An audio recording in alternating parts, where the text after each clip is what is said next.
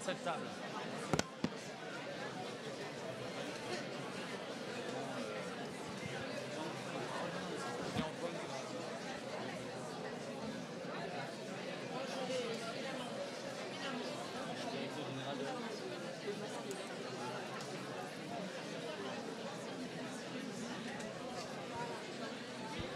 Tu peux me dégager tout ça là.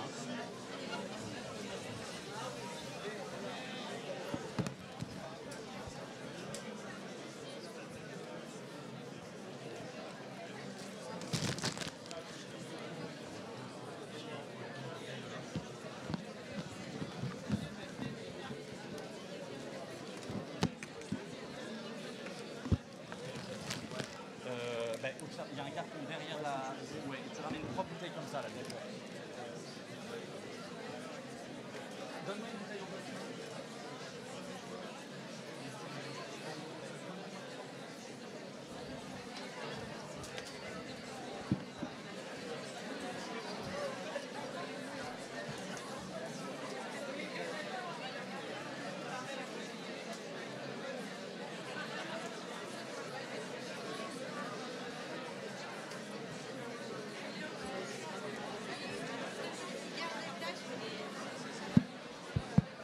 S'il vous plaît. S'il vous plaît, on va avoir. Il y a, plein d'autres conférences également. Il y a beaucoup de monde pour cette conférence. Je suis sincèrement désolé. Tout le monde ne va pas pouvoir s'asseoir. On essaye de vous trouver des chaises le plus rapidement possible. En revanche, on a d'autres conférences également qui sont ultra intéressantes avec euh, des ministres, avec euh, des députés européens, avec euh, plein de sujets passionnants qui sont dans d'autres salles de conférences. Si il y en a qui ont participé à la conférence avec euh, Clément Beaune sur l'avenir de l'Europe, etc., et qui euh, acceptent de laisser leur place ayant participé à la conférence d'avant pour ceux qui n'ont pas pu participer à celle d'avant, comme ça, ça permet un certain turnover. Ce serait très très gentil de votre part, s'il vous plaît. Merci beaucoup.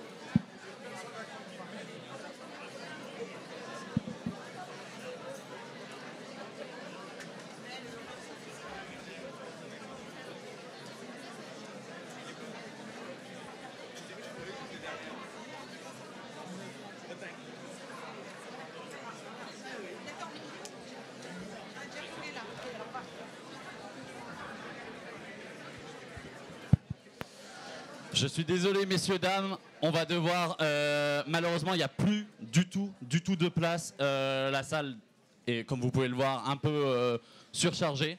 Je suis désolé pour ceux qui sont à l'extérieur, mais malheureusement, on ne va pas pouvoir faire entrer plus de monde. Toutes nos excuses. Mais je vous promets qu'il y a plein d'autres conférences qui sont top.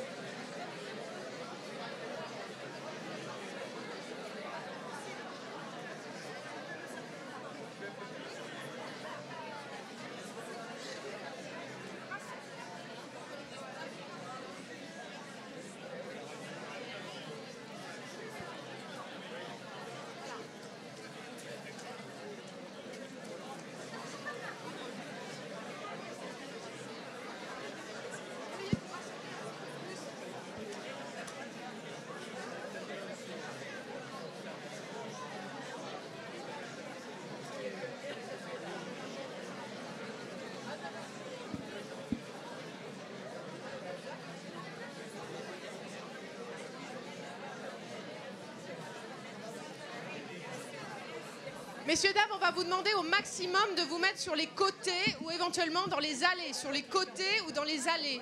Euh, mais ne restez pas comme ça en amas parce que là, on a des problèmes de, sécurité. On les, fera, les fera pas sortir. Donc, euh, moi, je. Ouais. Elles sont les caméras Là Ok, ok. Ah, on va...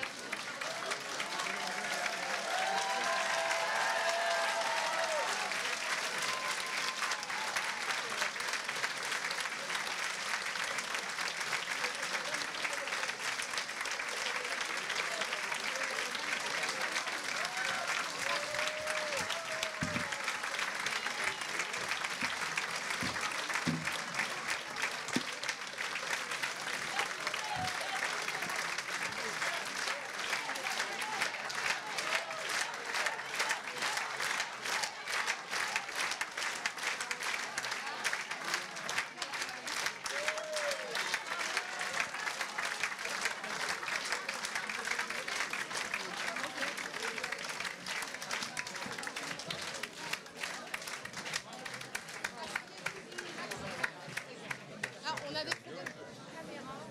Hop.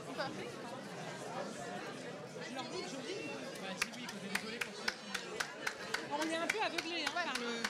C'est super aveuglant leur truc, putain. Je perds juste le micro.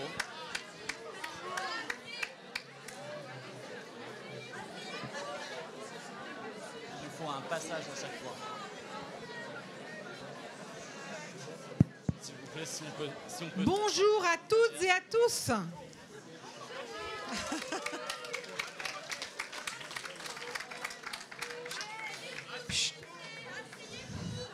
On va faire comme à l'école, je vais vous demander le silence.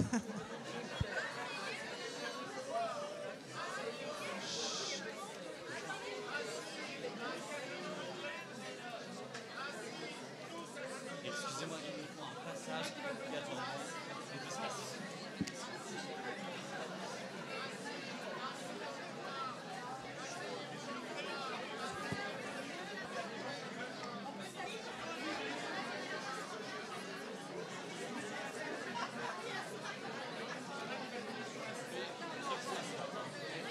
Il y en a qui peuvent s'asseoir sur la scène s'ils veulent.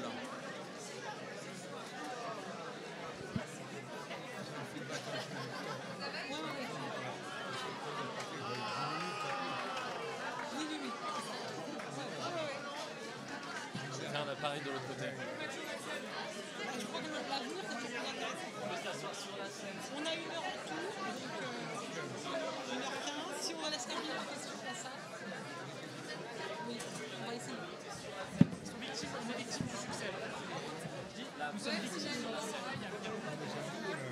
Non, non, non, non.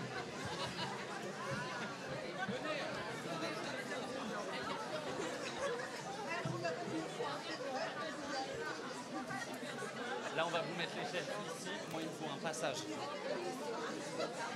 On s'assoit encore ici, s'il vous plaît.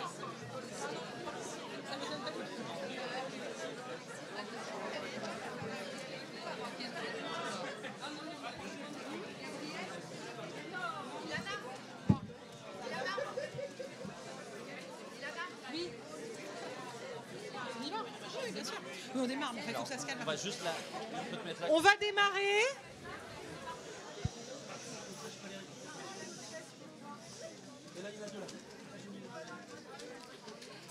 L'éducation, hier, aujourd'hui, demain, vous avez 1h15.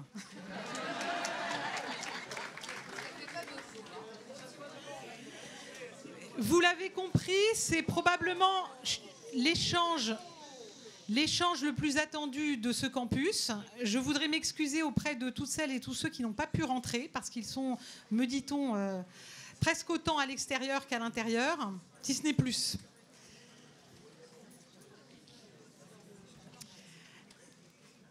Il y a quelques années, en 2018, avait été faite une étude par euh, un organe tout à fait indépendant qui s'appelle Terra Nova et que vous, que vous connaissez, sur les militants qui, à l'époque, s'appelaient des marcheurs. Et beau- et il y a beaucoup de marcheurs dans la salle.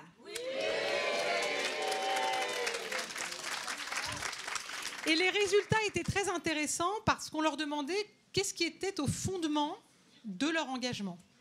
Et ce qui venait en tout premier, c'était l'Europe. Et tout de suite après, et tout de suite après, c'était l'éducation comme mode d'émancipation. Alors je vous le disais, cet échange, ce dialogue est très attendu. J'aimerais l'inscrire euh, sous la tutelle d'un grand philosophe qui s'appelle Martin Buber, penseur du dialogue, et qui disait qu'un dialogue réussi, c'est celui dont on ne sort pas tout à fait le même. Donc je vais souhaiter à nos deux interlocuteurs ben, d'entrer dans ce dialogue avec une ouverture qui fera que peut-être ils sortiront un peu transformés.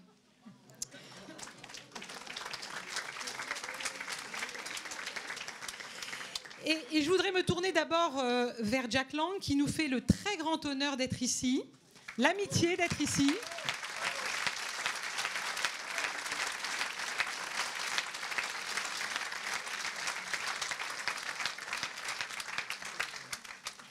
Jack Lang, grand ministre de la Culture, qui a aussi été à deux reprises ministre de l'Éducation et à un moment ministre de l'Éducation et de la Culture en même temps parce que ce sont évidemment euh, des missions qui, se complètent l'une l'autre. Et je voudrais, il y aurait beaucoup à dire évidemment sur votre bilan comme ministre de l'Éducation, mais rendre tout particulièrement hommage à ce dont vous êtes le, père, euh, c'est l'éducation artistique et culturelle à laquelle vous avez donné son plein statut.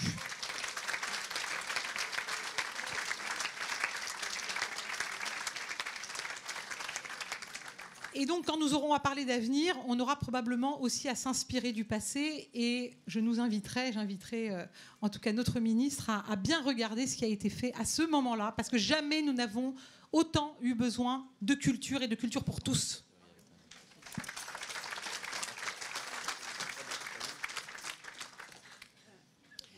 Gabriel, je crois que vous connaissez son parcours. Hein, depuis qu'il était conseiller de Vanves, il y a déjà de ça pas mal de temps. député, secrétaire d'État auprès du ministre euh, de l'Éducation et de la Jeunesse en charge du service euh, euh, national universel, puis porte-parole du gouvernement. C'est un autre point commun avec Jack Long, qui a aussi été porte-parole dans ses nombreuses fonctions, ministre délégué au compte public, et enfin ministre de l'Éducation nationale. Alors, je... et de la jeunesse.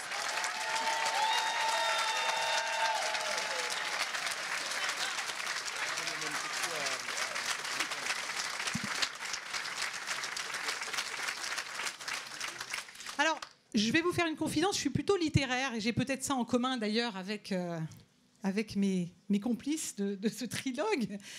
Mais je sais quand même compter. Et si j'ai bien compté, nous sommes très exactement à 80 jours depuis la nomination et de ton arrivée au ministère de l'Éducation nationale et de la jeunesse. Alors, tu n'as pas fait le tour du monde, mais, mais tu, as fait, tu as fait une halte au Danemark, très remarquée, hein, pour t'inspirer de la méthode danoise euh, sur le harcèlement. Et je voudrais vraiment du fond du cœur et le dire un peu comme une euh, d'entrée de jeu, puisque nous sommes là pour parler d'éducation et d'Europe et que ce soit un peu un fil rouge aussi de vos échanges, euh, te remercier d'avoir si rapidement intégré en fait ce regard sur les autres pays européens pour améliorer notre éducation nationale. Parce que je suis convaincue que c'est par l'Europe que passera le salut de notre éducation nationale. Et j'espère, mais je serais très intéressée de, vous entendre là-dessus, cher, cher Jack, euh, euh, que vous nous rejoindrez là-dessus. Je pense que l'échange des meilleures pratiques, l'idée d'une Europe puissance éducative, doit être au centre de la campagne qui nous attend. Alors commençons à présent ce dialogue ce dialogue et on va, très logiquement commencer euh, de manière euh, chronologique par, euh, non pas dresser un bilan, mais peut-être, cher Jack Lang, recueillir le regard que vous portez sur l'action qui a été faite en matière d'éducation depuis 2017, depuis l'arrivée d'Emmanuel Macron à la présidence de la République. D'abord, merci de m'avoir convié. Merci à Gabriel Attal de m'avoir personnellement convié. C'est un grand plaisir de me retrouver aujourd'hui à ses côtés. Euh, indépendamment de toute question euh, politique, euh, je l'apprécie beaucoup. Et je le dirai alors pourquoi je pense que c'est une chance qu'il soit aujourd'hui à la tête de ce ministère de l'Éducation nationale. vous me demandez quelque chose de très difficile, en quelques mots, résumer les choses. D'abord, j'aurais dire que je ne suis pas ici en tant que militant, même si au fond de mon cœur, les idées qui sont les miennes sont toujours des idées, je le dis d'entrée de jeu, des idées de gauche. Mais euh, pour des raisons liées à la fonction que le président de la République m'a confiée à la tête de l'Institut du monde arabe, je m'astreins à une obligation de réserve. Je pense aussi qu'il est, il est des, grands, de grands, de grands sujets comme l'école, l'Europe, vous l'avez dit à l'instant, nos institutions, la démocratie, qui méritent que des personnes qui appartiennent à, des philosophies différentes puissent se rencontrer, partager, échanger. Et c'est le cas de la réunion de cet après-midi. Euh, comment, en quelques mots, résumer la politique éducative qui a été menée?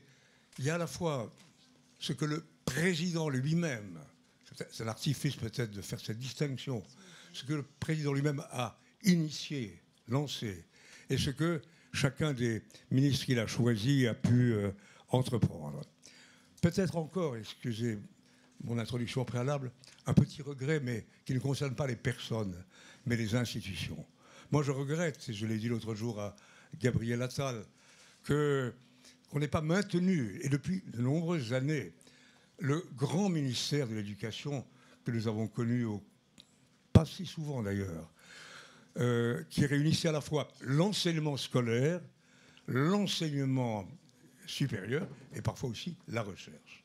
Et j'espère que euh, cette réunification se produira à nouveau, même si pour l'avoir vécu, c'est une charge lourde que d'être sur les deux ou trois fronts. Euh, le président Emmanuel Macron est un homme de culture, un homme de passion, un homme curieux de tout. Et évidemment, euh, l'éducation le touche euh, beaucoup. Et il a le désir de, comprendre, de saisir. Il a écrit sur ces sujets, notamment dans son livre Révolution. Je crois qu'il a voulu donner, qu'il veut toujours donner à l'école et à l'éducation une impulsion euh, nouvelle. Et parmi des initiatives qui sont les siennes en propre, y a celles qui sont partagées avec les ministres, comme c'est normal dans un système comme le nôtre. Il y a, euh, je ne vais pas y revenir euh, longuement, l'idée du dédoublement de certaines classes, l'idée de, de l'idée de, relancer un certain nombre d'actions comme l'éducation artistique et culturelle dont vous avez parlé à l'instant, L'apprentissage, disons-le sur ce plan, c'est un grand succès. Un grand succès. L'apprentissage tant désiré, tant craint, tant espéré, aujourd'hui devient une, vraie réalité éducative, aussi bien pour l'enseignement euh, scolaire que pour l'enseignement supérieur. Bon, j'arrête là. Peut-être, euh, je dirais, si je voulais exprimer une réserve, peut-être que euh, je ne sépare pas l'éducation de la politique dans son ensemble. Et euh, je crois que c'est une frustration d'ailleurs pour le ministre de l'Éducation, quel qu'il soit. La ségrégation territoriale, les quartiers euh, souvent relégués, et le ministre lutte de toutes ses forces pour que les enfants de ces quartiers soient traités sur un pied d'égalité avec les autres. Et c'est dur et c'est difficile.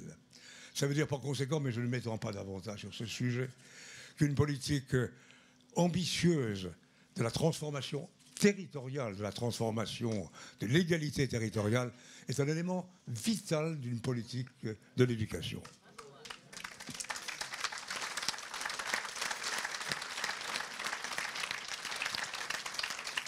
Alors, puisque vous m'invitez, mais je ne suis pas journaliste et je ne veux pas, je suis pas non plus homme à donner des notes. D'ailleurs, comme professeur, j'ai aimé enseigner, je n'ai jamais aimé donner de notes.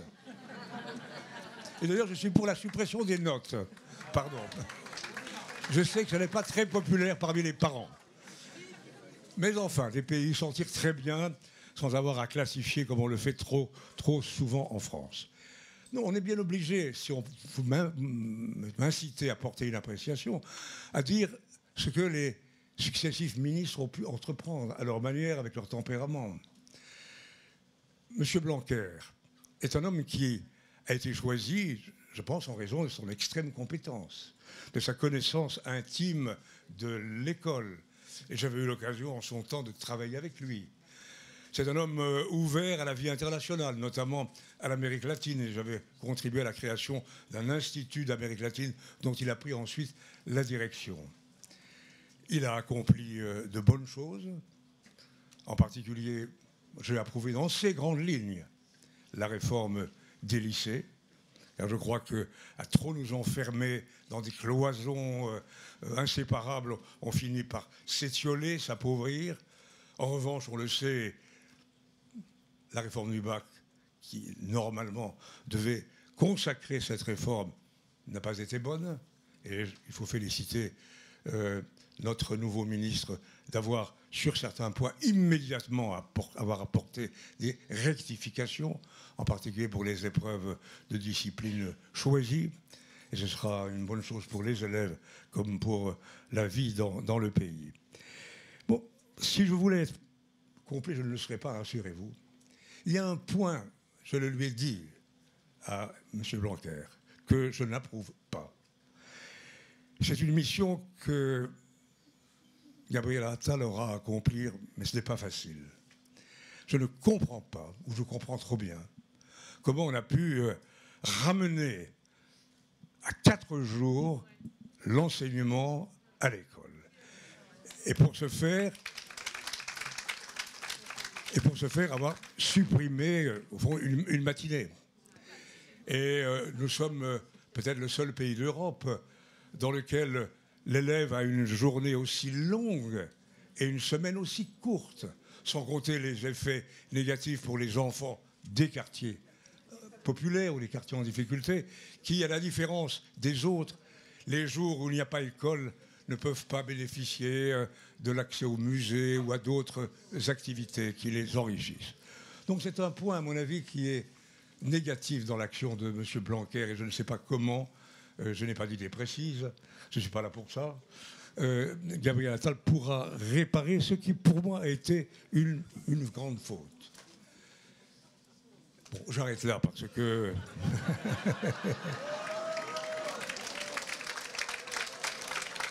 J'arrête là, mais je dirais simplement pour être complet que j'aurais aimé qu'il s'attaquât un peu plus au programme. C'est un sujet qui attend notre nouveau ministre. Au programme de l'école, au programme des lycées. Trop lourd, trop touffu, trop complexe, trop exhaustif. J'aurais aimé aussi, mais je vais en reparler tout à l'heure, à propos des grands chantiers qui nous attendent.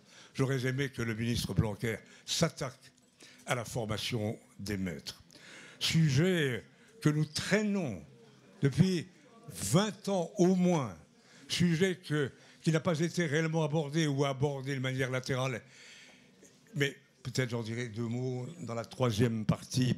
Il faut que je sois court, déjà je suis trop long.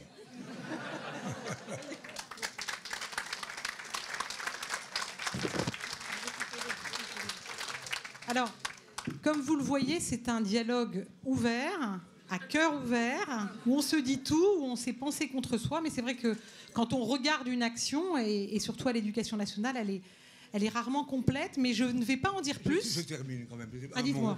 Un mot. Un mot. Non.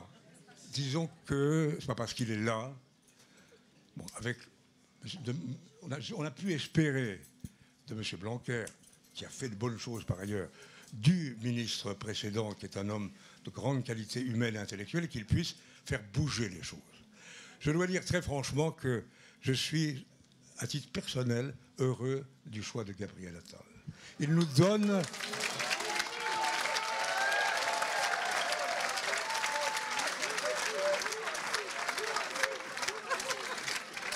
Peut-être, peut-être, peut-être, peut-être pour, peut-être que l'on, peut-être que l'on fonde sur lui de trop grands espoirs. Je ne le crois pas. Mais euh, ce que j'apprécie en lui, et je, pardon, je, rallonge ma petite dose, c'est sa capacité à décider. Il est offensif, il est créatif, il est inventif, il est en, relation avec la vie. Et les premières décisions qu'il a prises, mais c'est le deuxième sujet, alors j'arrête là.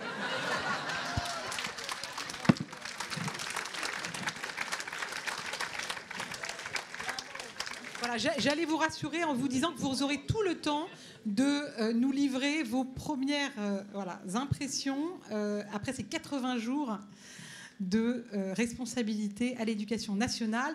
Mais je me tourne immédiatement vers Gabriel en te demandant bah, de toi-même le regard que tu jettes sur ce qui a pu être construit avant que tu, tu n'entres toi-même en fonction et on aura ensuite l'occasion de revenir donc sur, sur ces premiers 80 jours. Tu as la parole, Gabriel. Merci euh, Ilana. Bonjour à toutes et à tous. Et d'abord, merci d'être là et si nombreux pour venir euh, nous écouter. Je dis si nombreux. Merci d'être là, y compris dans des conditions euh, un peu spartiates pour beaucoup qui sont assis par terre ou sur la scène on avait un peu prévenu hein, l'organisation de l'événement en disant qu'il risque d'y avoir du monde parce que l'éducation, ça intéresse tout le monde. On nous a dit que c'était la plus grande salle et qu'après c'était la salle plénière et que c'était pas possible. Voilà, je suis ravi que vous soyez là. C'est vrai qu'on me dit que plusieurs centaines de personnes voulaient rentrer, qu'elles n'ont pas pu, donc elles sont parties. Donc je, compte sur vous pour vous faire aussi les messagers euh, de ce qu'on s'est dit euh, ici. Je veux remercier infiniment Jack Lang d'être là.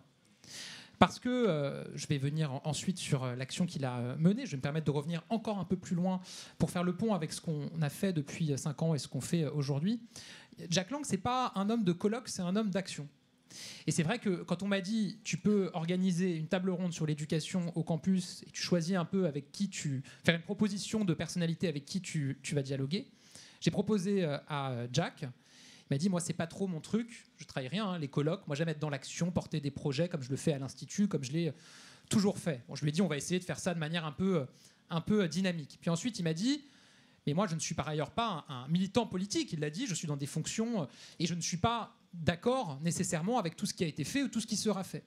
Et je lui ai dit, mais vous savez, c'est aussi la force de notre mouvement politique. C'est que nous, quand on fait des événements comme celui-là, on le fait pas pour avoir des gens qui sont tous d'accord entre eux et qui disent tous la même chose. C'est pas ça qui est intéressant. L'intéressant, c'est de faire progresser les idées et le débat.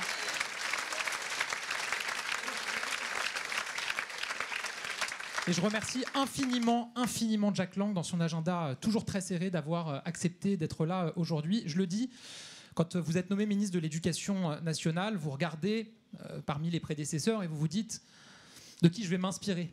À qui est-ce que je vais vouloir faire référence?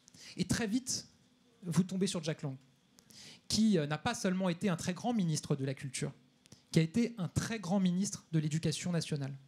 Évidemment sur le lancement euh, de l'éducation artistique et culturelle pour qu'elle irrigue vraiment euh, l'éducation nationale. Il y a eu le plan langue Tasca qui reste une référence absolue sur la pratique artistique et l'éducation artistique à l'école, mais pas seulement sur la démocratie lycéenne avec les premiers conseils de la vie lycéenne, sur la relance des internats, sur le sursaut pour les langues vivantes qui a été porté.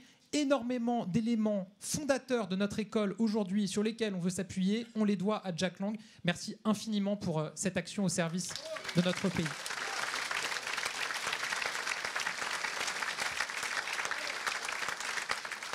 Alors maintenant, comment résumer rapidement, bien sûr, puisque je sais que c'est la commande, ce qui a été euh, fait depuis 2017 euh, Il faut se souvenir, et la plupart d'entre vous euh, étaient là, en 2017, le président de la République a porté un projet politique devant les Français dont la ligne directrice était extrêmement claire.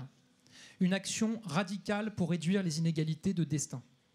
Avec une conviction absolue, c'est que l'ascenseur social en France, il doit partir de l'école se poursuit ensuite avec l'emploi, évidemment, euh, les services publics, beaucoup de choses qui sont déployées, mais c'est d'abord à l'école qu'on réduit les inégalités de destin. On a un pays qui a la chance d'avoir un modèle social qui réduit beaucoup les inégalités de revenus, avec un taux d'imposition élevé, une redistribution euh, sociale. Mais les inégalités de destin, c'est par l'école de la République qu'on sera capable de les réduire.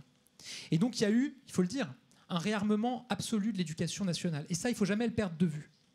D'abord, le réarmement, il est politique. Cette priorité a été affirmée comme jamais par un président de la République. Elle est encore aujourd'hui. Et on a la chance d'avoir un président de la République qui fixe l'école comme sa priorité absolue. Ça n'a pas toujours été le cas dans l'histoire de notre pays. Ensuite, le réarmement, il a été budgétaire. Alors j'essaye de sortir de ma casquette d'ancien ministre du budget, mais enfin, on sait que c'est le nerf de la guerre et que pour, faire, euh, pour développer des projets, on a besoin évidemment de moyens. Je vous donne un chiffre. Depuis 2017, du fait de la démographie, l'école a perdu 300 000 élèves. Et le, budget, pourtant, a progressé de 30%. 15 milliards supplémentaires. Il n'y a pas un quinquennat dans l'histoire de notre pays qui a connu une telle progression budgétaire pour le ministère de l'Éducation nationale, qui est en plus le premier budget. C'est un choix budgétaire et politique extrêmement clair, extrêmement net au service de nos élèves et de notre pays. Ne le, perdons jamais de vue dans certains débats politiques qu'on peut avoir. Et très concrètement, ça s'est traduit, et Jack y a fait euh, référence, par une action absolue en direction des euh, établissements scolaires, des écoles, qui sont dans les quartiers qui en ont le plus besoin, où il y a, on le sait, des inégalités à la racine très fortes. Les fameux quartiers REP, REP+, on a désormais 500 000 élèves qui chaque année font leur rentrée dans des classes à 12. 500 000 élèves qui viennent des milieux sociaux les plus défavorisés.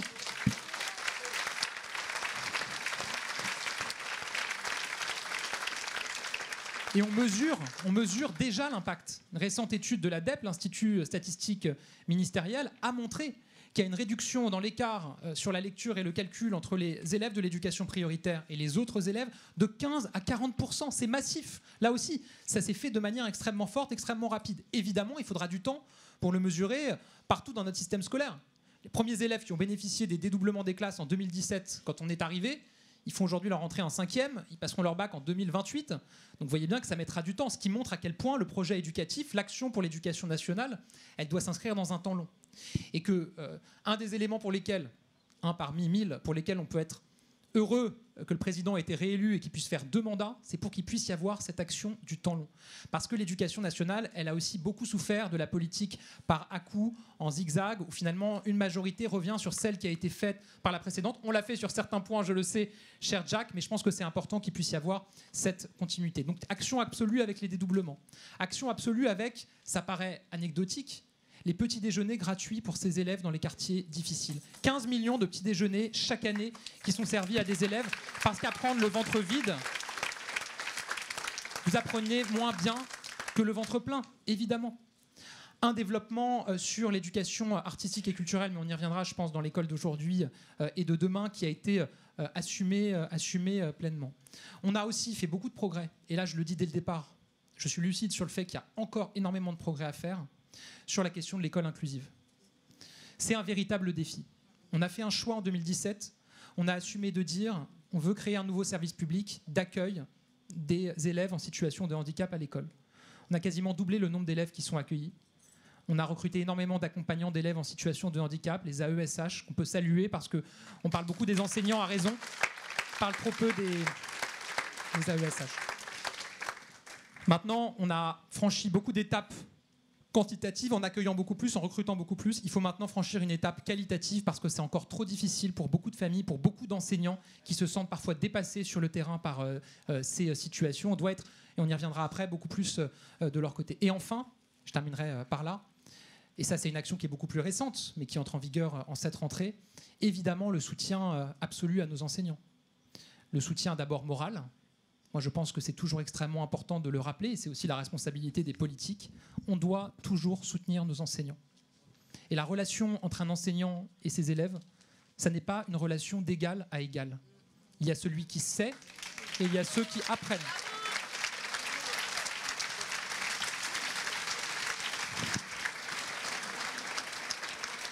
Ce sont des mots, mais derrière ça, on le sait, il y a beaucoup de réalités quotidiennes vécues par nos enseignants. Et je considère que ma responsabilité de ministre, c'est d'être à leur côté et de réaffirmer des choses qui nous semblent à nous très claires, mais qui, malheureusement, manifestement, ne le sont pas pour tout le monde. Le soutien aux enseignants, ensuite, c'est évidemment la revalorisation salariale qui est très difficile euh, au ministère de l'Éducation nationale, puisqu'on a 860 000 enseignants. Dès que vous prenez une mesure, tout de suite, c'est des sommes qui sont très importantes. Et évidemment que la situation est encore difficile pour beaucoup d'enseignants. Mais enfin, il faut mesurer l'étape qui a été franchie ces toutes dernières années, et notamment pour les débuts de carrière. Un enseignant débutant, néo-titulaire en première année, il y a trois ans, il gagnait 1700 euros net par mois. 1700 euros net par mois. En cette rentrée, c'est 2100 euros net par mois, c'est 400 euros de plus. 400 euros de plus. Si vous comparez la rentrée 2022, septembre 2022, septembre 2023, tous les enseignants gagnent entre 125 et 250 euros net de plus par mois. Là aussi, ça n'était pas arrivé depuis 1990 dans notre pays. Il faut l'assumer. Évidemment, on va continuer. Et la question de l'attractivité du métier d'enseignant, on y viendra dans un instant, elle ne dépend pas que des finances. On va poursuivre, on va continuer à agir. Mais il faut là aussi assumer cette décision et ce choix politique clair qui est assumé parce que c'était dû aux enseignants, parce qu'on leur doit cette reconnaissance, parce qu'on leur doit cette restauration du prestige social du métier d'enseignant. Mais voilà, si je devais résumer ce qui a été fait, action absolue pour la réduction des inégalités, euh, notamment dans les euh, territoires les plus difficiles, action absolue pour le soutien à nos enseignants, action absolue pour accueillir tous les élèves à l'école de la République. Sur tous ces chantiers-là, on a beaucoup fait, beaucoup reste à faire, mais je peux vous dire, j'ai de la détermination euh, et de la motivation pour y arriver avec vous.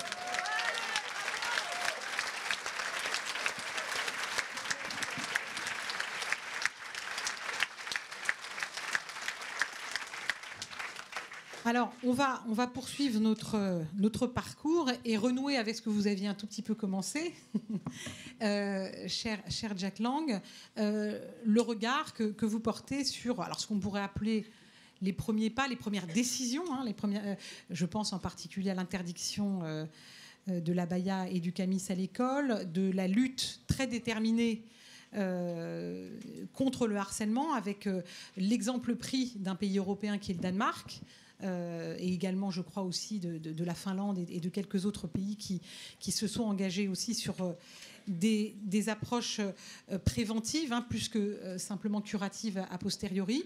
Et puis, et puis peut-être, allons, même s'il y aura peut-être débat sur ce, que, ce que va peut-être nous, nous, détailler davantage Gabriel, à savoir les, les différents niveaux dans les savoirs fondamentaux euh, et qui, je crois le deviner, mais Gabriel, tu, nous le diras, peut éventuellement avoir été inspiré par euh, le Portugal, où l'objectif n'est pas de maintenir euh, les différents groupes de niveaux justement dans un niveau dans une pédagogie différenciée, mais d'essayer de répondre à ceux qui ont le plus de, problèmes d'apprentissage, afin qu'ils puissent rejoindre les autres avec toujours une exigence d'ordre national. J'espère ne pas trahir ta pensée. Et c'est ce que nos, amis portugais ont appelé les nids d'accompagnement, où ils avaient, et euh, je serais très, intéressée d'en savoir encore plus, puisqu'il a commencé à dévoiler, mais peut-être qu'on aura des scoops dans cette salle, de savoir si le Portugal t'a inspiré dans cette manière d'accompagner en parallèle avec parfois des enfants qui, pendant l'heure du cours, vont quitter la classe et ensuite euh, quand ils auront euh, récupéré en fait euh, justement eh bien ces capacités à, suivre le rythme avec les autres récupèrent en fait leur groupe classe, c'est l'objectif. Voilà. Donc voilà en, gros, je dirais les trois grandes directions qui, se et, nous sommes évidemment très intéressés de savoir ben, ce, que vous en pensez, le regard que vous portez en tant qu'ancien ministre de l'Éducation nationale et très fin connaisseur de l'éducation grand connaisseur, c'est abusif, mais en tout cas en tant que passionné, passionné de l'école, comme, professeur que j'ai été longtemps et, et aujourd'hui encore. D'abord, une chose euh, positive, plusieurs choses positives. La première, c'est que Gabriel Attal s'est entouré d'une bonne équipe. Je ne les connais pas tous, mais j'en connais certains et c'est capital. L'expérience montre qu'un ministre seul ou qu'un maire qui ne peut pas s'appuyer, coopérer, créer un véritable collège avec une équipe de personnes motivées, euh, habitées par une passion, par une expérience, ne peut pas réussir. Et pour, je ne connais que quelques-uns d'entre eux, mais euh, c'est vraiment réjouissant et prometteur pour le futur le choix qu'il a fait d'être entouré d'une équipe créative et inventive. C'est la première chose et c'est capital. Deuxièmement, en ce qui concerne les différentes mesures que vous avez citées, je dirais, en ce qui concerne le harcèlement scolaire, ce qui m'a plu, ce qui me plaît, d'abord, c'est combattre ce mal qui a été dans le passé déjà combattu à l'époque où j'étais ministre moi-même, mais c'était beaucoup moins difficile qu'aujourd'hui. Et ce qui était remarquable dans l'action qu'il a menée avec la Première ministre, là encore, c'est d'avoir conçu une action d'équipe. Lui, au premier chef, mais plusieurs ministres, parce que ça concerne plusieurs ministres. La Première ministre qui a pris sa part. Et donc la garantie de l'efficacité de cette mesure, c'est précisément que ça a été élaboré vite, mais sérieusement, solidement. Et euh, dérouler à un moment ou à un autre le plan qui comporte toute une série de dispositions, c'est un travail euh, excellent. La seule chose sur laquelle j'attire l'attention, c'est que depuis tant et tant d'années, le ministère a été euh, dépouillé, si j'ose dire, de toute une partie de personnel qui n'est pas euh, éducatif au sens propre, qui ne sont pas des professeurs, mais les, surveillants, mais les médecins scolaires, les infirmiers et infirmières et, tant d'autres. Et pour avoir, à une époque, combattu, mis au point des plans anti-violence, qui étaient d'une autre nature, je me suis rendu compte qu'il fallait à la fois que ce soit interministériel, comme il l'a fait pour le harcèlement scolaire, mais aussi accompagné à l'intérieur de l'établissement par euh, des personnels euh, de ce type. Sans compter que j'avais eu la chance, et peut-être qu'elle peut être saisie à travers le service universel dont Gabriel s'est occupé naguère, j'avais eu la chance, lorsque j'ai mis au point un plan anti-violence, d'obtenir du ministre de la Défense qu'il mette à ma disposition, il y avait le service militaire, plusieurs milliers de jeunes du contingent. Et un peu plus tard, on a créé les aides éducateurs, 70 000, rendez-vous compte, dans, dans les collèges en particulier. Et sur ce point, je pense que la réussite de l'action qu'il mène est conditionnée par sa continuité, en particulier par le personnel qui euh, pourra l'épauler euh, et le. Autre point sur lequel je veux pas, pas, délivrer que des compliments, parce qu'encore une fois, nous sommes au, tout début. Mais j'ai. non, non. Pour pour l'heure, je n'ai que des compliments à faire, c'est ça qui est terrible. Mais l'année prochaine. Mais l'année prochaine. non. Non, ce, qu'il, ce, qu'il a, ce que j'ai lu, en tout cas, dans le journal Le Monde, sur son plan pour euh, tenter de faire surgir des idées neuves de la base, du terrain. Mais pareil, une méthode excellente. Et je dois dire que, a dit excellente parce que je me sens en harmonie avec ce type de choses. C'est pas possible que d'une seule tête, même ministérielle, on puisse décider, euh, imposer, proclamer. Il faut absolument euh, euh, analyser, confronter, et nous l'avions fait d'ailleurs pour les nouveaux programmes de l'école en 2000, où il y avait un aller-retour permanent entre une équipe centrale et la consultation permanente des professeurs des écoles. Et là, j'ai trouvé que dans le journal que j'ai lu, ce qu'il se propose de faire pour les prochaines semaines et prochains mois est exemplaire. Parce que je suis certain, puis en plus il a choisi de bonnes personnes, là encore, à la tête des différents secteurs. Et je suis certain qu'ils vont découvrir des, mines de, choses euh, qu'on n'attend pas. Ils vont découvrir aussi des choses pas belles, mais des trésors, des trésors d'imagination, des trésors de créativité. Et cette méthode-là, je la trouve excellente si l'on veut faire avancer vers le haut notre système éducatif. Bon, j'en reste là pour l'instant.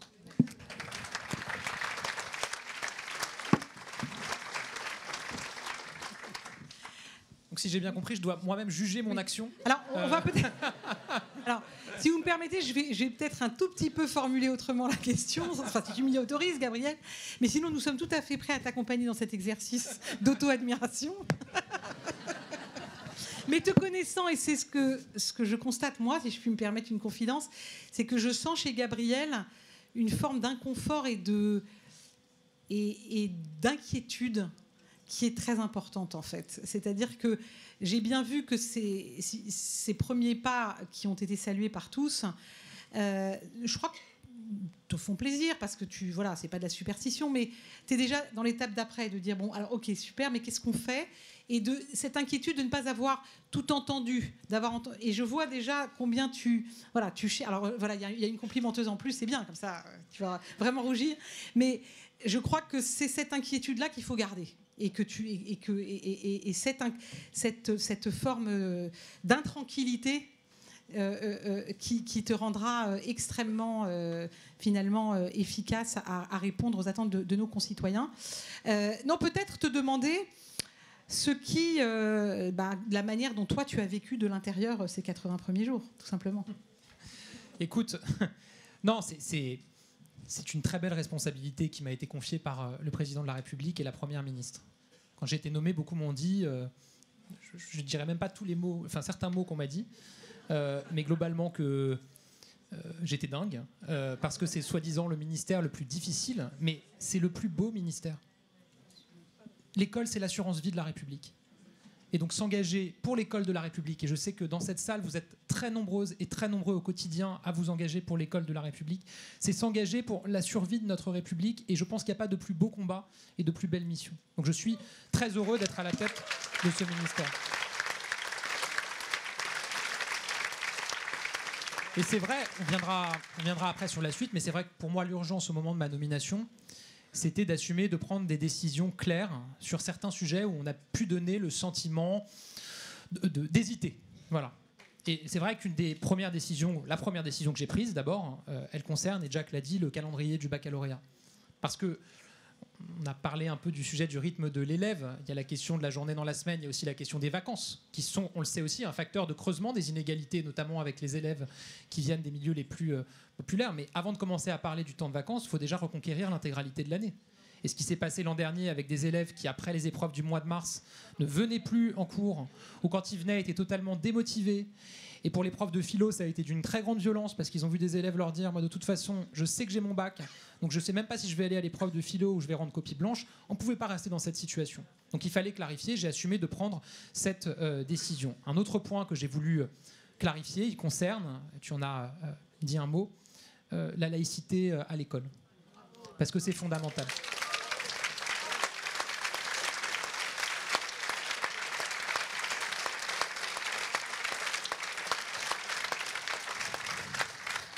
On a la chance en France d'avoir une école qui est un projet politique en soi, une école qui est publique, gratuite, mixte et laïque.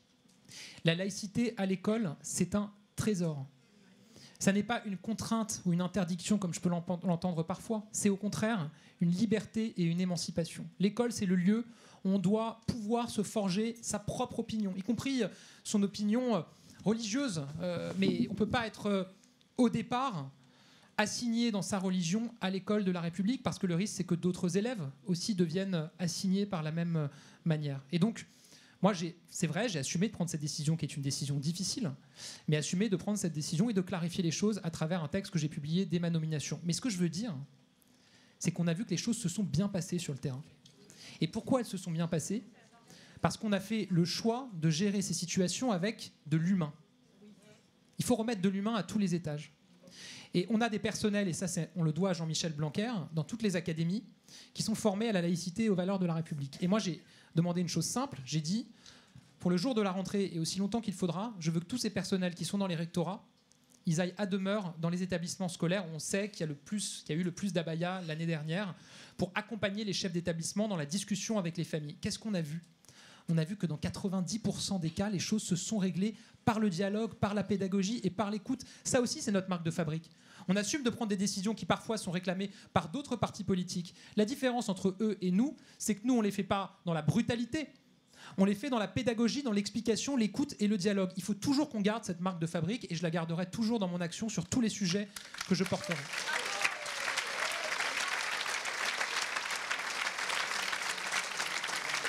Et puis, Troisième décision que j'ai prise, c'est de faire de la lutte contre le harcèlement scolaire ma priorité absolue dans ce ministère. Et c'est une priorité absolue, d'abord parce que c'est des drames humains terribles, des élèves qui vivent des drames, euh, des enseignants qui vivent ces drames, des familles, et à la fin toute l'école de la République. Ensuite parce que c'est pour moi aussi un des leviers de l'exigence qu'on doit avoir pour le niveau à l'école. Quand un élève est harcelé, quand des élèves sont harcelés, le harcèlement envahit tellement leur esprit qu'il n'y a plus de place pour les apprentissages. Et ça finit par, par pourrir le climat scolaire dans toute la classe ou dans tout l'établissement et il n'y a plus de place pour les apprentissages. Donc lutter contre le harcèlement scolaire, j'ai entendu certains éminents spécialistes de l'éducation euh, nationale dire oui, ils s'engagent contre le harcèlement, mais enfin la priorité, euh, c'est le niveau. Mais d'abord, je m'engage sur les deux, mais surtout, on n'élèvera pas le niveau à l'école si les élèves sont malheureux à l'école. On n'élèvera pas le niveau à l'école si les enseignants sont malheureux à l'école.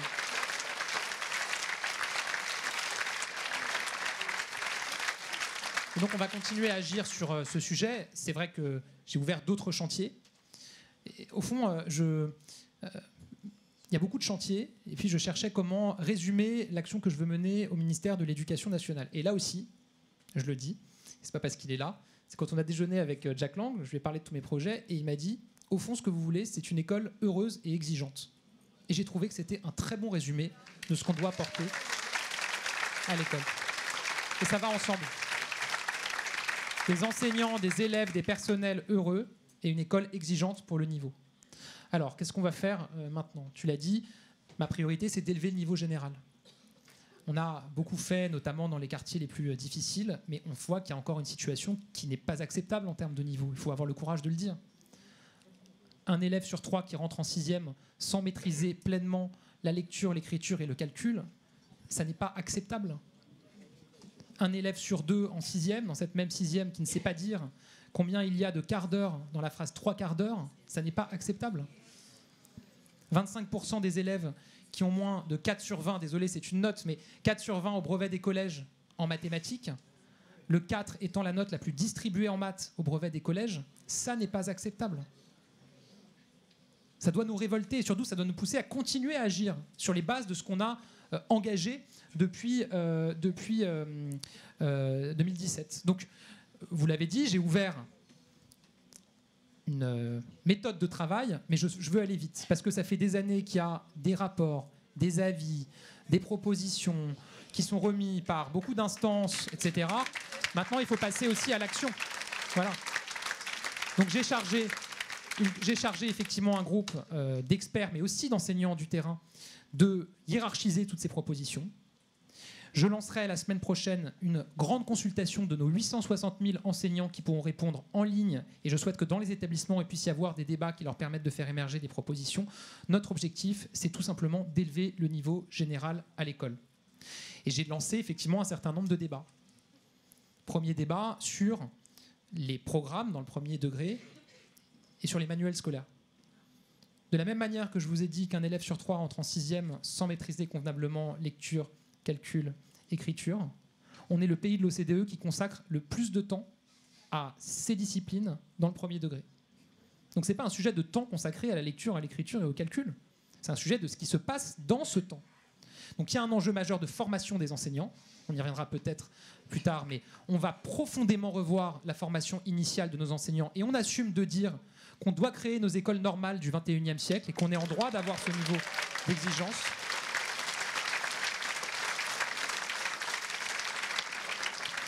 On déploie évidemment la formation continue pour les enseignants euh, actuels avec le plan lecture et le plan maths qui se euh, déploient. Donc formation des enseignants. Deux, les programmes. Les programmes du premier degré, ils datent de 2015. Ça va faire 10 ans. Et se sont empilés sur ces programmes des vadémécum, des guides, euh, des circulaires, des notes de service, si bien que les enseignants eux-mêmes ne s'y retrouvent pas toujours. Ils me le disent. je, je, fais l'objet d'une inspection pédagogique, on me demande des comptes, non pas sur le programme, mais sur la circulaire numéro tant que malheureusement je n'ai pas le temps de lire. Donc on doit faire ce travail-là. Enfin, les manuels scolaires. 60% des élèves de CM1 aujourd'hui n'ont pas de manuel scolaire de référence dans leur établissement. Et donc vous avez des enseignants qui parfois doivent un peu bricoler, aller chercher à droite à gauche, parfois sur Internet, des, documents. On sait maintenant, et notamment parce qu'on a le Conseil scientifique de l'éducation nationale, qui est aussi un des grands apports de, Jean-Michel Blanquer, on sait quelles sont les méthodes qui fonctionnent. On les connaît, notamment sur la lecture et l'écriture elles ne sont pas employées partout, notamment à cause de cette question des manuels. Parce que quand il y a des manuels, ce n'est pas toujours les bonnes méthodes. Donc j'ai assumé d'ouvrir un débat, dont je sais qu'il est difficile, beaucoup d'intérêts, y compris financiers, euh, en jeu, mais un débat sur le fait qu'on puisse labelliser des manuels dont on sait qu'ils sont bons pour nos élèves. Ça va être un débat difficile, mais j'assume de le mener. Autre piste, autre piste que je lance, autre piste que je lance. Je reviens toujours à ce chiffre d'un élève sur trois qui ne maîtrise pas lecture, écriture, calcul en sixième. Qu'est-ce qu'on fait? Moi, je pense qu'il faut assumer de le dire. Laisser rentrer au collège un élève qui est à ce point en retard, qui a à ce point des lacunes, c'est de la maltraitance.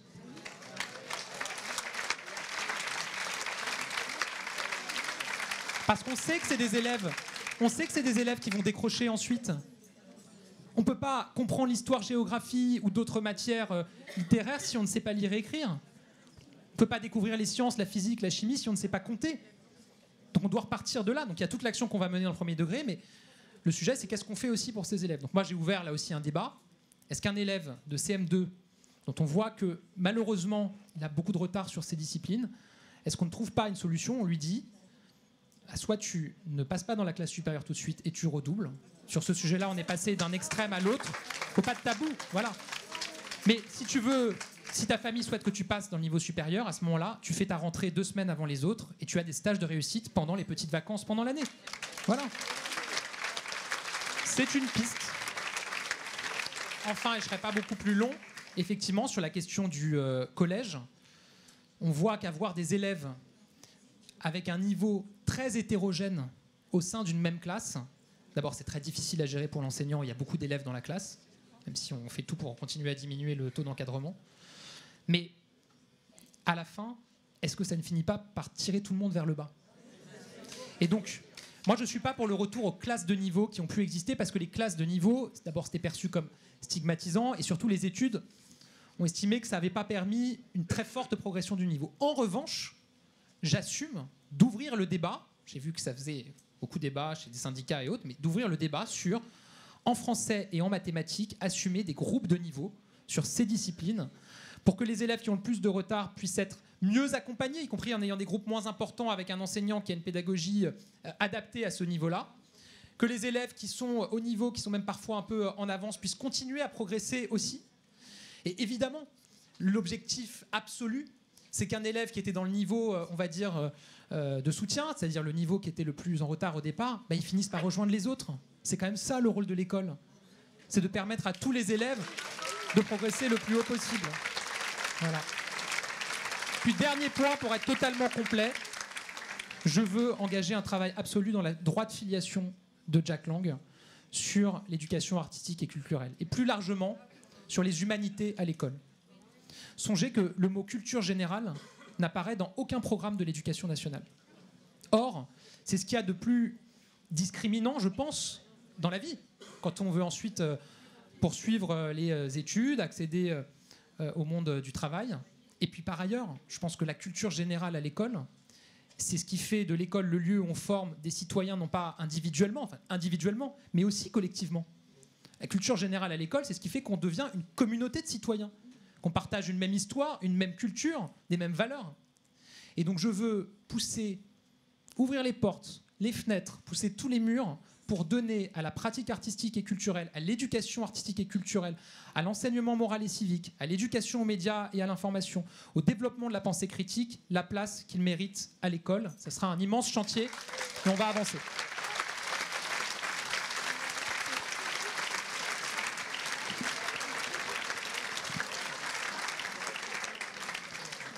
Alors, on l'a on, voulait parler d'aujourd'hui, on est déjà dans demain. Et merci, Gabriel, d'avoir tracé euh, les, et d'avoir précisé pour nous les, pistes euh, que, tu engages. Euh, donc, je me tourne à présent vers, vers vous, Jack Lang. Alors, pour vous, pour vous permettre de réagir à ce qui vient d'être dit, mais aussi euh, on, a bien compris que, vous avez des échanges déjà soutenus euh, avec, Gabriel Attal et que la recommandation d'allier bienveillance et exigence était probablement euh, un, genre d'inspiration, enfin, ça va inspirer grandement le, ministre. je, voudrais, vous entendre sur, l'ensemble de ce que vous pourrez partager avec nous, mais peut-être plus précisément sur la formation des professeurs. Vous avez euh, tout à l'heure évoqué effectivement l'importance qu'il y a à associer les professeurs à la décision publique, donc qui est euh, maintenant euh, déjà enclenchée avec cette réflexion sur, sur les programmes et sur, sur les, groupes de niveau. dont on a bien compris voilà, qu'ils étaient là pour justement qu'il n'y en ait plus hein, de groupes de niveau. Mais qu'est-ce que. bon, je voudrais simplement dire que dans PISA, hein, qui est la référence, le classement qu'on connaît tous hein, de l'OCDE, euh, on ne l'a pas encore dit, mais on l'a tous en tête. La France a malheureusement une terrible médaille qui est celle d'être le champion des, comme tu l'as dit, des euh, inégalités de destin. Hein, c'est-à-dire que l'école de la République euh, est celle où pèse le plus le poids socio-économique des parents. J'avoue que c'est insupportable à chaque fois qu'on se le redit, et je pense que c'est en grande partie aussi, et, et, je pense pour vous aussi dans la salle, une des raisons de notre engagement politique, tout simplement. Hein, de, ne pas accepter cet état de choses et de fait. Euh, mais euh, euh, il faut, et ça, ça fait longtemps que ça dure. Hein, donc on va voir quels sont. On attend d'ailleurs au mois de décembre, janvier, enfin en janvier, on aura les, les premiers, les, résultats, les prochains résultats PISA. On verra si les dédoublements de classe commencent à laisser quelques, quelques traces. C'est peut-être un peu tôt encore. Hein. Ah oui, PISA c'est à 15 ans, mais quand même, on commence un petit peu. on va avoir quelques signes, je crois. Mais en tout cas, en tout cas, on va, savoir où on en est. Pour ceux qui ont sauté plusieurs classes. non, non, il faudra que je refasse mes petits calculs. Non, mais en tout cas, en tout cas euh, PISA doit cesser d'être un instrument de déploration. PISA doit devenir un instrument de transformation. Il y a quelqu'un de formidable qui s'appelle Andreas Schleicher, qui est le fondateur de PISA et qui depuis 30 ans observe euh, bah, tous ces systèmes euh, éducatifs avec l'objectif que nous nous inspirions les uns des autres et non pas que nous soyons en train de dire ah, dès qu'on dit PISA, vous savez, il y a un genre de oh oui, bon, d'accord. D'abord, parfois on est bien classé, il faut pas non plus exagérer, mais c'est surtout on doit et donc ça ouvre la porte à cet échange des meilleures pratiques. Donc, que pensez-vous, euh, Jack Lang, avec l'expérience qui est la vôtre, de ce que nous pourrions tirer de ces échanges de meilleures pratiques et à travers notamment la lecture que nous donne PISA des bonnes pratiques qui peuvent être faites dans, certains pays PISA nous dit aussi que les pays dans lesquels les professeurs sont heureux sont ceux où on les associe à la décision politique. Donc, peut-être aller un petit peu plus loin dans, dans cette direction. Peut-être qu'il faudrait avoir une idée pour associer de manière structurelle euh, euh, les, professeurs euh, à la décision politique et, d'une manière générale peut-être quelques, quelques directions sur cette réforme qui est évidemment essentielle et qui a été évoquée par, par Gabriel Attal, la nécessité de, de réformer et de peut-être de fonder cette, cette nouvelle, ces nouvelles écoles normales. Et pour finir, bien entendu, mais ça, ça a été clairement demandé, cette euh, éducation euh, artistique et culturelle, est-ce que, est que vous avez quelques recommandations à faire? Et juste une chose, on a un petit peu critiqué le bac, on a été un peu sévère à mon sens, parce qu'il y, a aussi des très bonnes choses qui peuvent sortir de ce bac, hein, je crois qu'on est d'accord là-dessus. Il nous faudrait un autre débat pour aller plus dans le détail. Mais il y a une chose peut-être euh, qu'on peut retenir comme absolument excellente, et j'espère que vous me rejoindrez, c'est le grand oral. C'est-à-dire de placer à la fin du parcours de l'élève un grand oral où on travaille enfin cette faculté de s'exprimer. Mais là où on doit le compléter, et c'est là que j'aimerais vous entendre, parce que vous avez fait un travail en tant que ministre formidable de lien avec le monde du théâtre qui est rentré dans les classes pour apprendre euh, non seulement à lire en public, mais aussi à jouer. Et ça, euh, je pense qu'on pourrait largement s'en inspirer.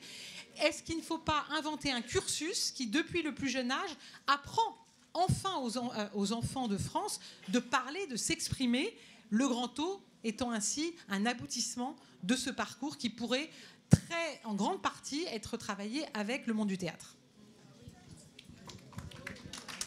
Merci beaucoup.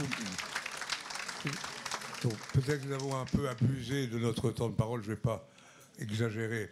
Et puis, de toute façon, euh, à l'instant, euh, Gabriel Attal a apporté quelques réponses euh, bonnes et utiles à toutes les questions qu'on peut se poser. Mais je reviens d'un mot quand même à cette question de la formation des maîtres. Vous avez demandé pourquoi dans les autres pays les choses marchent moins mal, disons. Je pense une des raisons, c'est aussi que la condition, les conditions dans lesquelles les maîtres sont préparés à exercer ce métier, qui est un métier, comme le métier d'infirmière ou de chirurgien ou de tout ce que vous voulez. Et en réalité, quand vous regardez de près ce qui se passe dans les, dans les instituts de formation. Et je ne veux pas être désobligeant à l'égard de qui que ce soit, puisque, mais l'essentiel n'est pas consacré à apprendre à apprendre. Et c'est quand même, c'était vous avez raison, mais reprenez-le, le mot école normale, reprenez-le. Euh, en effet, les écoles, on dit toujours les hussards de la République. Bon, certes, mais au moins il y avait les écoles normales et les élèves étaient rémunérés. Il y avait une prise en compte sérieuse du métier de professeur. Deux mots quand même pour dire que c'est un, un de nos grands échecs.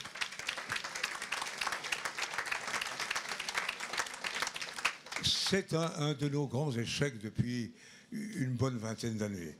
Bon, j'ai assisté personnellement navré, parce que ça ne suscitait pas beaucoup d'émotion, à la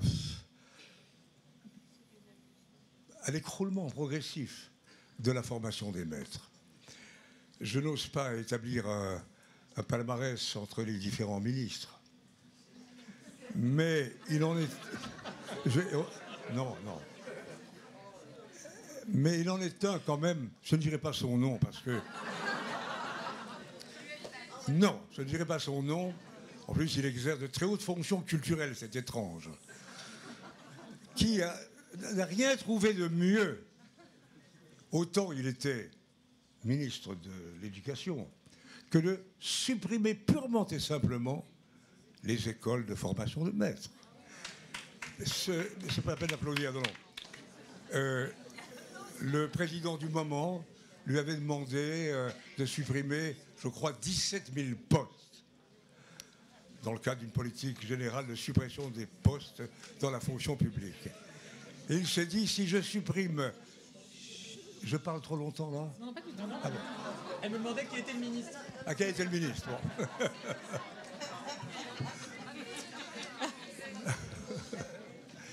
Et ce ministre que je connais encore, et nous avons chaque fois des, des débats très vifs, je dois dire, euh, me dit, vous voyez, on me demande de supprimer 17 000 postes, 17 000 postes supprimés dans les lycées, ce sera le bordel, ce sera la révolution. Je les supprime dans les écoles, on les appelait UFM à l'époque. Personne n'y verra rien. Et, il avait raison, personne n'y a rien vu pendant deux ans. J'ai clamé ici ou là qu'il fallait se remuer, mais en vain. Je ne crois pas que ce soit la méthode qui est celle qui sera choisie par Gabriel Attal. Mais, mais, mais, mais, mon grand regret, c'est que lorsque nous avons rétabli, sous, un nom différent, on est très doué pour inventer des noms, institut de je ne sais pas quoi, pour la formation des maîtres, sous le, sous le quinquennat de Hollande, au lieu de créer tout simplement des écoles, je dirais professionnelles, j'ose le mot, professionnelles, car les disciplines, elles s'apprennent à l'université.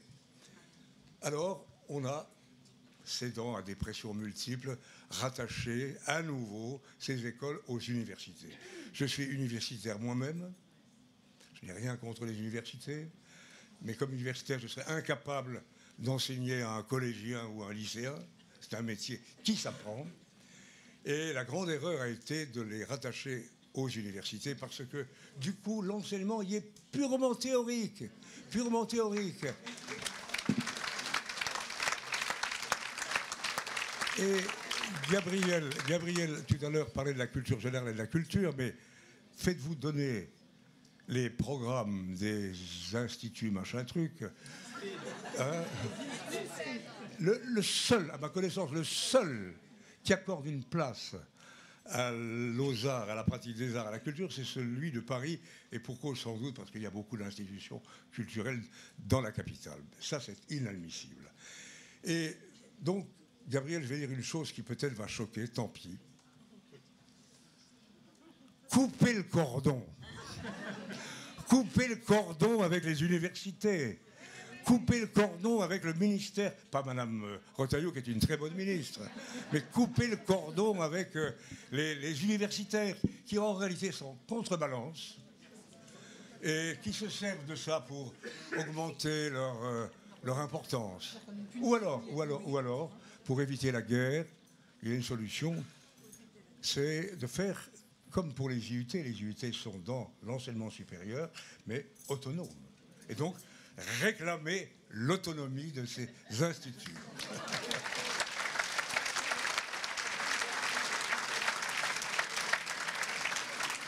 Bon, j'aurais voulu aborder d'autres sujets, mais j'aurai d'autres occasions, et surtout si Gabriel veut bien bavarder avec moi de temps à autre, quand il a le temps. Euh, je dirais que, quand même, un des grands sujets, on doit le dire quand même. Pardon? Il aura le temps, je gère son agenda. Il aura le temps, je gère son agenda. Ah oui.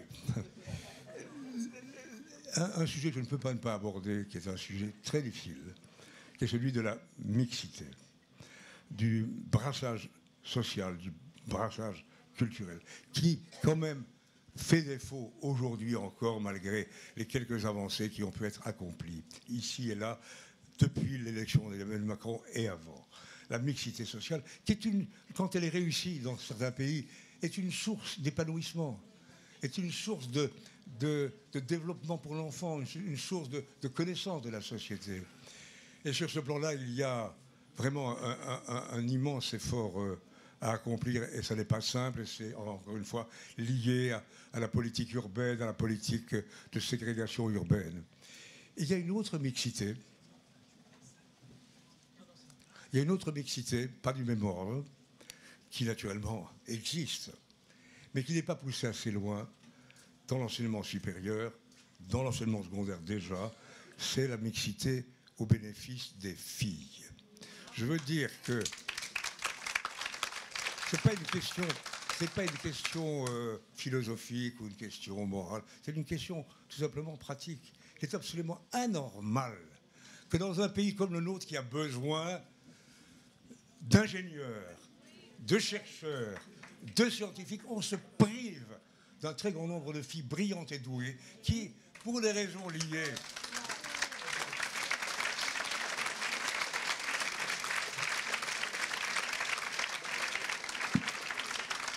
Je ne vais pas apporter les réponses, mais pour les raisons liées à leur situation, aussi l'idée qu'on se représente de la science et, des lettres, qui ne voient pas non plus, entre parenthèses, être abandonnées. Et de grâce, puisque je suis là, je vous le dis, rétablissez un peu de latin, un peu de grec.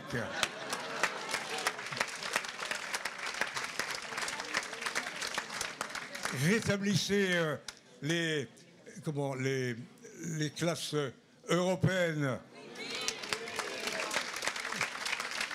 Les classes orientales, enfin, j'en profite, je profite pour être, bon, pour être un pétitionnaire. bon, non, c'est pas, c'est pas la gauche du tout, parce que c'est une, c'est une femme de gauche. Enfin, euh, disons pas qui. C'est un ministre. Oui, c'est ça. Là, c'est votre moment d'autocritique, disons. Non, parce que je n'étais pas très content quand cette personne s'est livrée à cet exercice de relégation des cultures et langues anciennes et de relégation des euh, sections d'excellence euh, européennes. Bon voilà, j'arrête là. Pour, l'art et la culture, je n'ai pas à convaincre euh, Gabriel Attal. Sur les programmes non plus. Je pense qu'il y a un gros, gros travail à faire. Pardon de dire au passage que vous pourriez relire, vous avez dit 2015, je ne veux pas du tout faire les gros bras, prenez le temps de feuilleter simplement les programmes de 2000, qui ont été le fruit justement d'une genèse, d'une confection associant un comité national et l'ensemble des professeurs de France et de Navarre. Et ces programmes de 2000 sont des programmes clairs, des programmes qui font de la langue française la colonne vertébrale de notre système et qui accorde en particulier à l'expérimentation scientifique une place tout à fait importante. Je ne parle pas du plurilinguisme, vous l'avez évoqué, mais j'en reste là.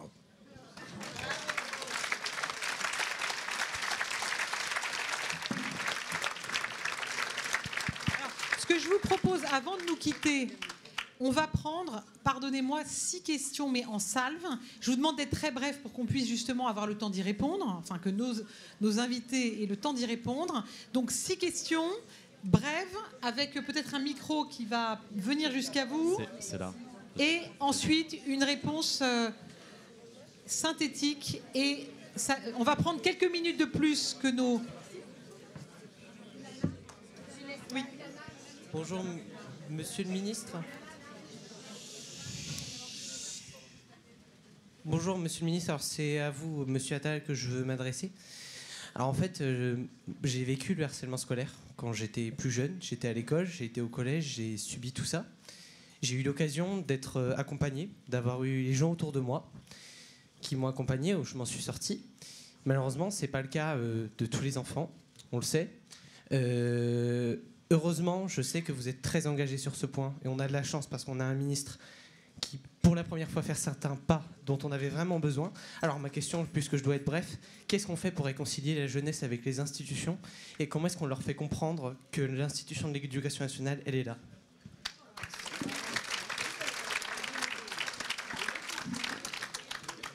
Oui, une question.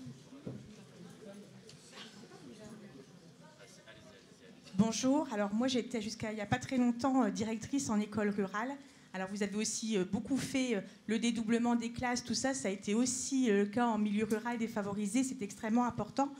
Mais je pense que nos élèves souffrent surtout d'un manque d'ambition pour l'avenir, parce que parfois on, les y n'y invite pas, les familles sont en difficulté et je pense qu'il faut s'appuyer sur les enseignants pour repérer très jeunes nos élèves qui ont des capacités et qui peuvent faire des études peut-être créer des internats d'excellence dès le plus jeune âge, mais je crois qu'il faut absolument que les, jeunes puissent à nouveau euh, avoir espoir en l'avenir et surtout se projeter euh, différemment. Bonsoir à tous, bonsoir Gabriel. Euh, Rama Jalal, élu à Fézin dans le 69. Euh, nous avons parlé tout à l'heure de discrimination, d'harcèlement. Enfin, moi, j'ai deux points à aborder. Et seulement euh, le premier point, la discrimination, et le deuxième point, euh, Parcoursup. Premier point, la discrimination, effectivement, elle passe par, euh, par la tenue vestimentaire. Vous avez, euh, dès le début de votre mandat, pris une, une, initiative qui, à mon sens, est, est, très bonne. Mais pour éviter toute discrimination dans l'école publique, je me pose la question, et on n'est pas on est, je ne suis pas la seule à me poser la question sur la tenue, l'uniforme scolaire. Voilà, je voulais savoir votre avis là-dessus. Et la seconde, c'est sur Parcoursup. Euh, oui, Parcoursup, parce qu'il y a beaucoup de. Ça, va être très bref. Il y a, il y a beaucoup de difficultés avec des. Euh, que ça soit des. Je sais que ça a été mis en place euh, pour euh, que ça touche tous les élèves de différentes catégories, etc. Mais il y a beaucoup de d'élèves, de, de, très bons élèves, qui se retrouvent en très grande difficulté par rapport à leur choix à cause de Parcoursup. Et là aussi, j'aimerais savoir qu'est-ce qui peut être fait dans ce, dans ce sens-là. Voilà, merci. Bon, bon, bonjour. Alors, on va prendre une dernière question. Bonjour Gabriel, bonjour Ilana. J'espère que vous allez bien. Alors, j'ai une petite question à vous poser. Euh, pourquoi on ne ferait pas des, des écoles, des collèges comme euh, le lycée Toulouse-Lautrec, où ça réunirait les personnes handicapées et les personnes handicapées sociales, euh, et on les mettrait en pensionnat de façon à ce qu'ils puissent euh, être euh, en dehors de, leur milieu qui les pousserait, et ça les obligerait finalement à travailler et à changer le paradigme et leur vision de la vie après, et ça peut les pousser pour devenir, pour faire des études et continuer plus loin que de se retrouver complètement illettrés, parce qu'il faut quand même savoir qu'en France, on a quand même 19% de personnes illettrées. Alors, une dernière question, parce que je sens qu'il y a beaucoup de passion, mais je vous fais confiance, vous êtes synthétique, et ensuite on écoute les réponses, sinon il n'y aura pas de réponse, ce qui serait dommage. Allez-y, on vous écoute.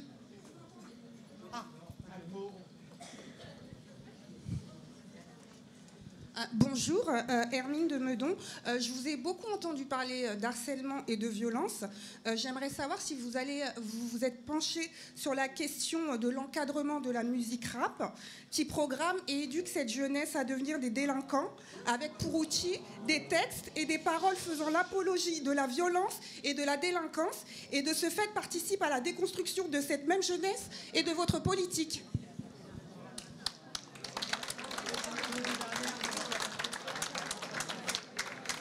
Peut-être pour, pour, finir sur une note plus positive, mais je vais répondre. Peut-être, monsieur, je voyais vous levez la main. En fait, je vous explique pourquoi on doit arrêter. Moi, j'aimerais continuer. Mais en fait, l'organisation là, du campus me dit qu'il y a la plénière qui va commencer avec Ursula von der Leyen. Et que si j'arrête pas ma table ronde, on dira que c'est de ma faute s'il y avait personne pour Madame von der Leyen. Alors moi, je veux pas de problème avec l'Europe. Je veux pas de problème avec Madame von der Leyen. J'adorerais rester avec vous. Mais euh, voilà, on me dit que c'est pas possible. Après, peut-être qu'il y a des gens qui n'avaient de toute façon pas prévu d'aller à la plénière. Allez, on prend encore, on, on prend encore J'ai une tenté. question.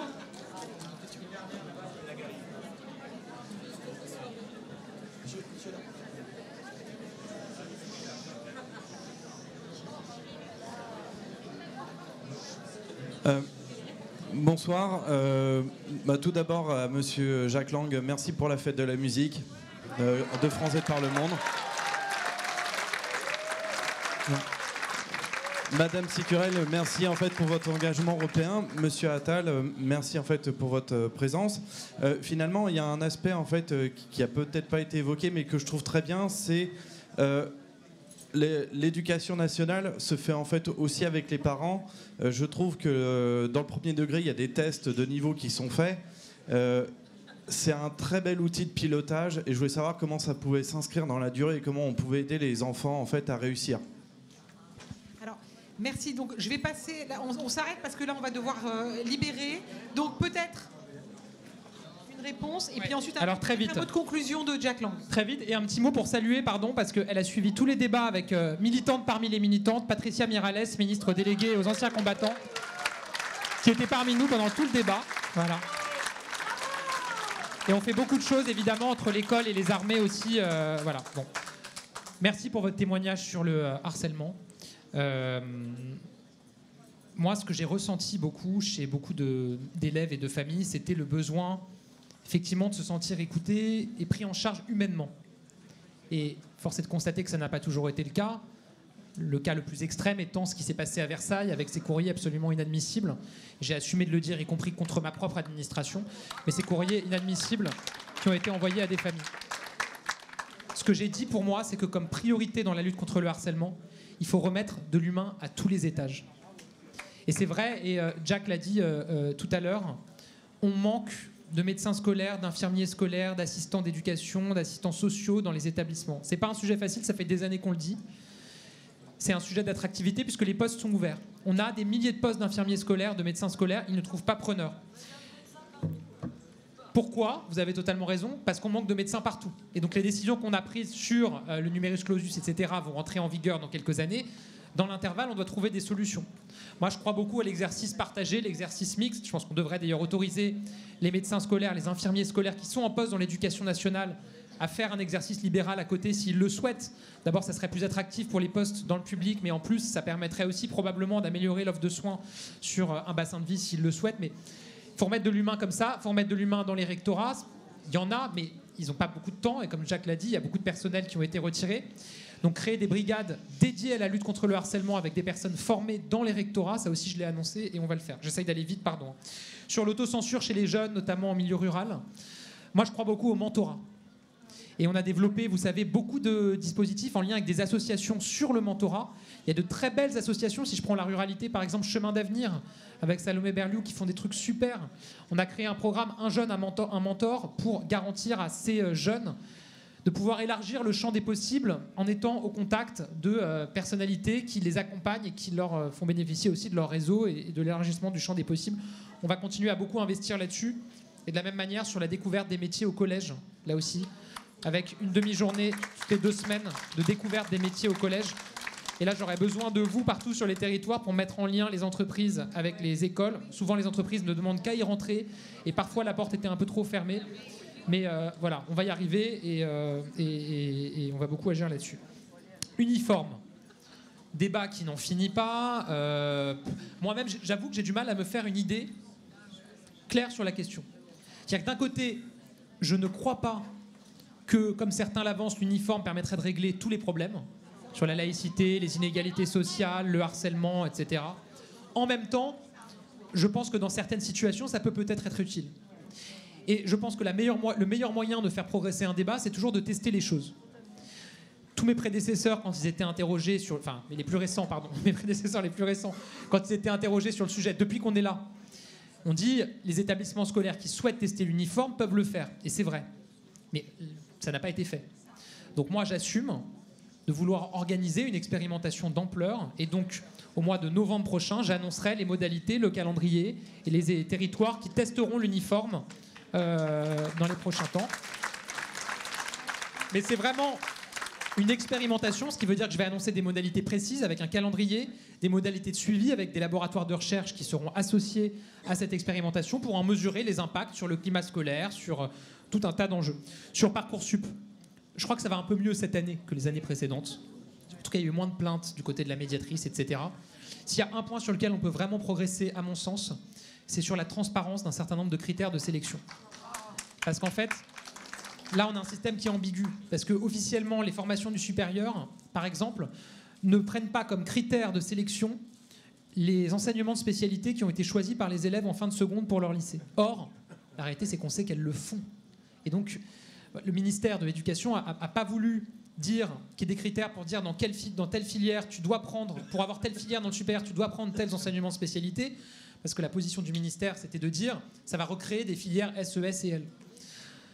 Mais en même temps, on a une situation où en fait, il y a ceux qui ont les infos grâce à leur famille, à leur réseau, euh, qui sont parfois coachés pour ça, et qui du coup choisissent les bonnes, euh, épreuves, les, les bons enseignements. Et puis il y en a qui arrivent en terminale, ils se disent moi j'aimerais faire ça après le bac. Bah, en fait, je peux pas parce que j'ai pas choisi les bons enseignements de spécialité il y a deux ans. C'est pas possible. Donc moi, j'assume de dire, on va faire la transparence, pas forcément en termes de critères, mais en disant 80% des jeunes qui ont réussi dans telle formation du supérieur, ils avaient pris tel enseignement de spécialité. La transparence, c'est l'égalité. Donc on va le faire. Il y a d'autres sujets sur lesquels on peut, euh, on peut progresser. Sur l'école handicap, j'en ai un peu parlé euh, tout à l'heure. Il faut qu'on continue à progresser. Moi, je le dis, je suis frappé du témoignage parfois d'enseignants du premier degré, professeurs des écoles, qui me disent Je me sens dépassé. Je me sens pas suffisamment soutenu, accompagné. Je vois qu'il y a des instrumentalisations politiques de cette fatigue. Regardez l'extrême droite allemande, l'AFD, cet été, a annoncé qu'ils mettaient désormais au cœur de leur projet politique le rejet de l'école inclusive. Et on a vu dans l'élection présidentielle, il y a un peu plus d'un an, 2022, qu'Éric Zemmour a commencé aussi ce chemin-là.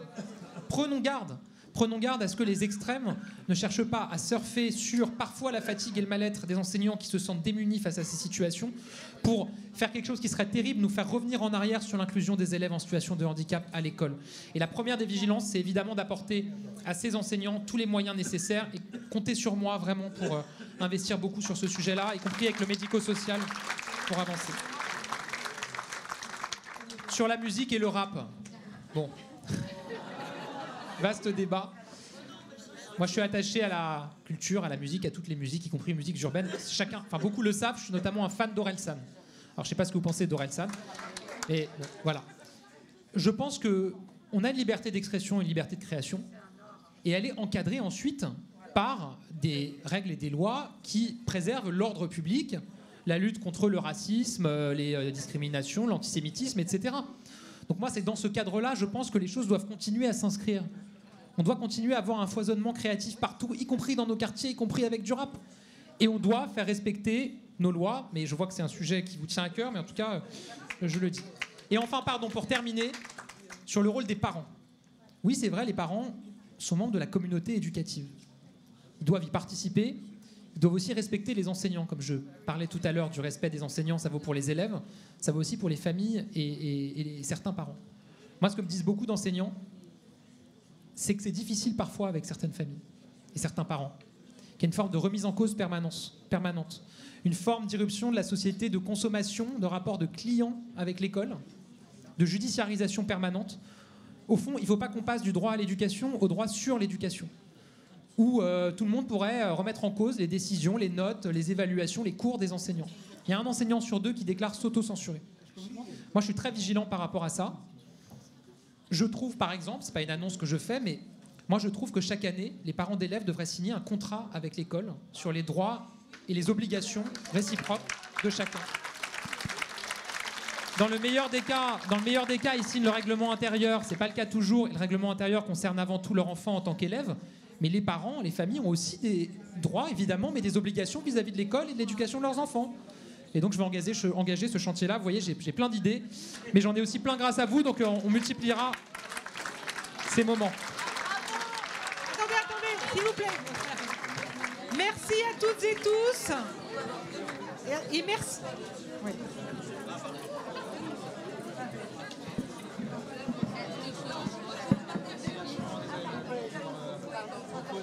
S'il vous plaît.